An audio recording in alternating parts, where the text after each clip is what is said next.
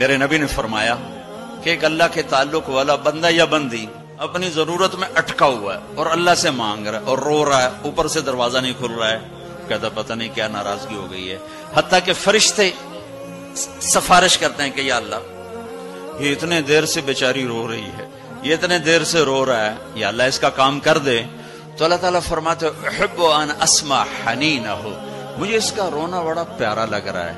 मैं चाहता हूँ कुछ और रो ले दे दिया तो फिर क्या रोवना लिहाजा मैं चाहता हूँ थोड़ा ये रो ले। इसलिए लेट हो रहा है। इसलिए लेट नहीं हो रहा कि मैं नाराज़ हूँ।